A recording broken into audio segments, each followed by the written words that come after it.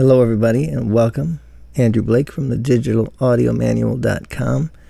And today we are continuing our discussion of the envelope follower in ShaperBox 2. But before we start, I want to remind you that there's a link below to the free content navigation guide, which is an easy to navigate web page with links to all the content on this channel. And besides that, in the near future, I'm going to begin adding tips and other bits of information that will only be available there. You know, things like simple steps that will get you started and up and running quick. Things that are in the videos but are written down in simple steps that serve as quick reminders when you need information down the road. If you're working with programs like Wavelab or Cubase plugins, plugins or the Cable Guys ShaperBox 2 and many, many other projects that are in the works, then I know you're going to find, just like I have, that this is an invaluable study aid. And the other thing I want to make sure you understand is that this is not a simple PDF. This is a constantly updated page that has any information that uh, is new or anytime videos are changed, really anything updated. And once you have it, you will always have the latest information constantly updated. So if you haven't gotten it already, go to the link below, click on it, and save it to your favorites. It's my gift to you, and it's absolutely free. Okay, so let's get started.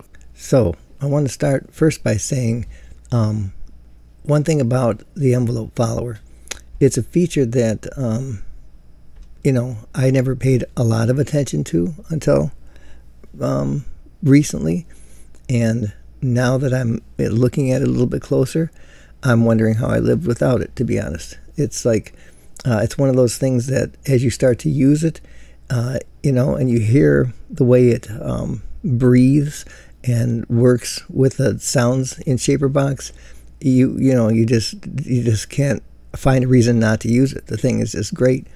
Um, so let me start by showing you this. Let's go back to our here's our little loop we're playing with. And uh, let me bring up the channel settings here so we can see them. One of the just, I'm just going to recommend you know as you're practicing with this, one of the easiest ways to practice with it and get comfortable with it is using a, a drum loop. You know you will see um, the features of it a lot easier and it's you know so that's what I'm going to recommend. Just bring a you know a drum loop into your DAW and then put your ShaperBox on it just like I've got here. You know any kind of drum loop and you'll um, it'll be real easy to see what's going on. So let's continue. We're going to continue working with the filter shaper. So I'm going to bring that in. Now uh, before what we're going to work with today is this um, the uh, there's an attack a hold and a release. We're going to look at those in a minute. Um, but what I didn't show last time, um, and this is something to really understand when we're dealing with this envelope filter, uh, envelope follower, the concept here. When you have a shape like this, what you want to notice is that uh, the filter, the envelope follower, follows the shape of whatever envelope you put in here. Let me let me show you this right away. So let's start with this. So as you see down here, you have, again, the drum beat is a very small little gray marks here.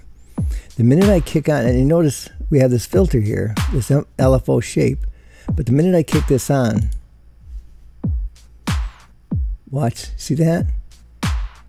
All the little lines now are following the shape of this LFO. And that's really the key concept here. And whatever shape you put in, let's put in a real simple shape. Let's go to this just a straight line. See, look, it follows right there on the line. Let me pull this line down.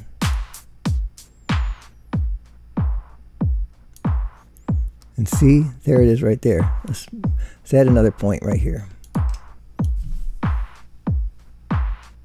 No matter how I move this, tilt it, angle it, or whatever I do to it, see how the sound of the drum, which are these points here, follow the shape so that's really key. I mean, it's almost like think of it like a little roller coaster ride. You know, whatever shape you draw in here, your sound is going to follow that shape. That's a real key concept here. Okay, now, last time we talked about the amount. And let's look at the amount again real quick before I go on because I want to show you something. You see this little blue line here? As I move the pointer amount either away from that, towards it, or past it, it will determine which which uh, direction these points shoot, point. See, right now they're pointing downwards. Every hit is like you have the straight line and then you have all the points going down. they can go extremely down, or they can flatten out to the line, or they can start going up or extremely up. And it, it's kind of determined by where this blue line center here is and where this arrow is. So watch. I'm gonna first I'm gonna pull it all the way down. Watch what it does. See how extreme now you can see the lines. Now as I come back up here and get close to the little blue mark here, look it flat lines out. You can't even see it, right? I want to bring this down so it's more visible here. Now, as I continue up the scale, past the blue marker, now the points go upwards above the blue line. So this is how you get an idea of what, what's really going on here. Let me go all the way up. See that? So now they're, the heartbeat, so to speak, is above the line. So that's your kind of default right there. And this arrow of amount determines whether it goes downwards or upwards. The upwards is more of a, you know, sharp filter cut sound, and the downward kind of has a almost like a pumping, you know, side chain effect. Let's stick with the upwards for a minute because it's easier to hear. All right, so today, here's what we're, and, and this is, we, we cover those controls, but we didn't really talk about them in depth like that. So let's just, I want to wrap that up with those points. But now today, we want to look at this attack, this hold, and this release. Okay, so first I'm going to turn all these down to nothing. Bring them down to zero. okay, so observe the little heartbeat. See how we have these hits on the kick and the snare that are kind of pointed. Watch what happens when I kick this attack up all the way. It almost flattens it out. So that's what the attack does. In other words, the farther down here, it's in time. So what it's saying is this is how quick the attack can respond. So all the way down, the attack can hit as quick as possible. And that's why we have a point here. As I move this up, it slows that attack down and it doesn't even have time to actually get to a point because it's it's moving so slowly. So that's how your attack affects that. All the way down, very quick. Move it up to any degree uh, to that to the point where it almost flattens out. All right, let's leave it down there for a minute. Now, the hold. Once this gets to a point, it begins to fall off. And that's what's happening here. It hits the point and falls off like a little slope. Well, when we turn the hold up, once it gets up here, depending on how to do with the hold, it's going to stay up there for a while. And you'll see this flat line at the peak, depending on how fast or how slow I make this hold. Now watch when I take the hold all the way up. See that? It becomes like almost a straight line. What it's doing is this, the attack is going up, but it's being held in place, thus the hold. And so depending on how much we do with that, that's halfway on the hold. And then we're going to bring the hold back down. And there we go. All right, so let's bring the hold up a little bit because it's going to be easier to see this next feature. All right, so there's our heartbeat with a little bit of hold on it. Next, we have the release. Obviously, once it goes up, and it's held. If the release is quick, once that hold is done, it shoots right back down again. But if we turn the release time up, once it gets up there and it's held, then it's going to take a long time to come back down. Let's demonstrate this. Here we go on the release. Again, almost flat lines on the way down. Before it was flatlining on the way up, now it's flatlining on the way down. Let me turn it down a little bit here. The more we turn that release up, the more we have a smooth slope. See that?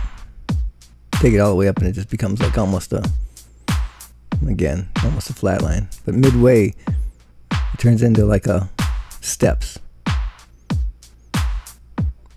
So there you go. There's a little button here after the release with a little A, and that's the adaptive release. By, by default, again, I'm going to take this hold down a little bit too. By default, the heartbeat is hitting and falling down, hitting, falling down. But when we put, but it's coming down, still coming down at a somewhat of an angle. Even when it's when everything is turned down, there's still a bit of an angle. When you hit this adaptive release, it's a little bit slower on the decline. Let me turn it off so you can watch the graph again. If you look at the graph, it's going up and pretty down pretty quick. Up, down, up, down. Okay, now I'm going to turn the adaptive release on. It automatically slopes a little bit slower after the hit. And it says the idea here is to kind of reduce reduce the pumping a little bit. If you got a sound that you know you're feeling like it it's turning a little too side chainy on you and you're getting that pumping effect and you don't want that, the adaptive release will automatically kind of help to resolve that. So you have that option. Let's turn the lights down again and let's go the negative way. Take the uh, um, the amount lever and we're going to bring it down to the other side of the blue line. So now our heartbeat is dipping. See that? I'm going to bring this point up. So let's mess with these. Attack first.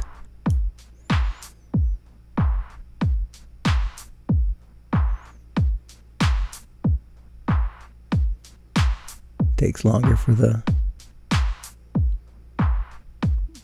almost removes the point because it takes longer for the point to actually resolve itself. Quick, quick, and slow. Let's put it back somewhere in the middle here. Let's mess with the hold button. Hold affects once it gets to the peak.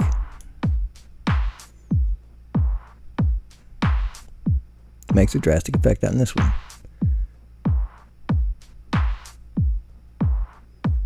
Definitely more of a climbing effect. And then finally I release, let's mess with that a little bit.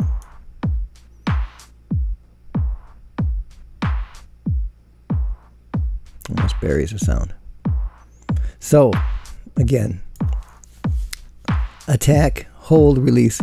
I'm going to show you a second uh, what I found to be fun way to just mess with this. But let me, here's the thing, the real key thing to take away from this today. If you listen to this Okay, let's turn this envelope off and listen to what we got. Here it's off.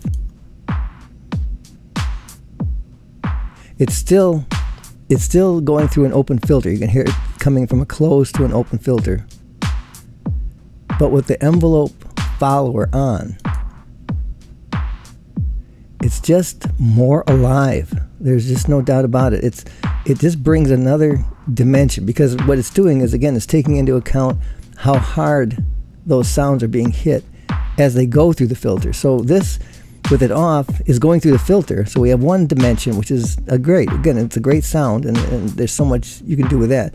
But when you add this envelope follower on, it adds that dimension of not only the filter affecting it, but the sound and how hard it's hit as it goes through the filter. So you just get this extra musical layer to the whole thing. It's great. I mean, there's just no reason not to use this thing. This, you know, you, you set up a shape, you mess with it, kick on that envelope follower, and just play with it because it just it just brings it alive. All right, so let's fool around with this a minute. Attack. Let's turn everything down. Again, I want to bring this point up so it really opens up. All right, let's mess with it. Attack. Here's again, here's again, this is what I found to be kind of a fun way to deal with this. Start by taking any one of these sounds. I would take it right from the beginning, from the attack, you know, and I would move my attack knob and listen to it until something catches my fancy. Now, if something doesn't catch me, if I mess with it and I go, nah, there's nothing really exciting about that, then move on to the hold and do the same thing. Kick it on, move it around back and forth, and see if something catches you, something that goes something different from what you're hearing, and you go, oh, there you go, that's something interesting. If that doesn't do it, then go on to the release, do the same thing, and play with it, move it up and down until you hear something that maybe catches you. If none of those catch you, then forget it. Just leave it like it is and mess with the with the um, you know, this amount knob here. But if one of these catch you, the attack, the hold, or the release, and it changes it to a sound that you like, then leave that. Just leave it where it's at. And then go back again and start over with the other ones. Start, if let's say, the because uh, I'm going to demonstrate this in a minute, but let's say the release catches you. you. You move it up halfway here and you go, oh, that sounds great. Okay, leave it there. Go back to the attack and the hold and start playing with them again. Move them up, move them down until it, it seems like it, it makes it better. If it makes it better, if you find something you like, leave that. If it doesn't, go to the next one and play with it. And that's how that's how you'll find your sound. And uh, once you've kind of messed with those, you know, three or four times like that, you'll lock something in that that will definitely be interesting. So let's do that. I'm going to start with the attack.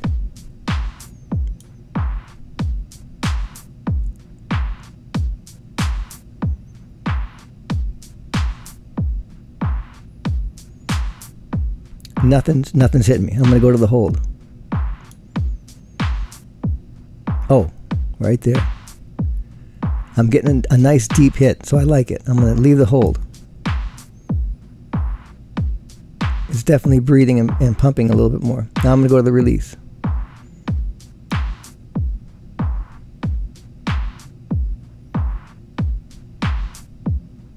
Mm, nothing so much there that I like. I'm gonna go back to the attack. There we go. It's more drastic. I like it. All right. I'm going to go back down to the release one more time.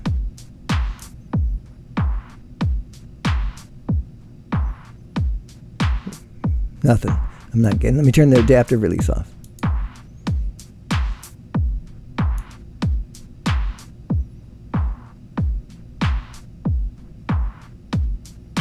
I like the adaptive on. There it is. So there you go. I would use that. If I had a song that was going, in fact, let me kick my song on. I've got everything muted.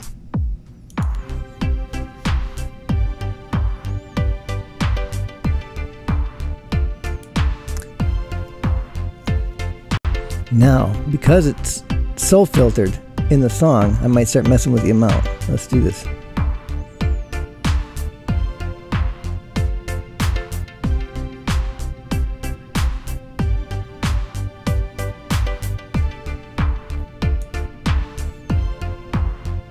Change the volume of my sound. There we go. That's it. That's how you do it.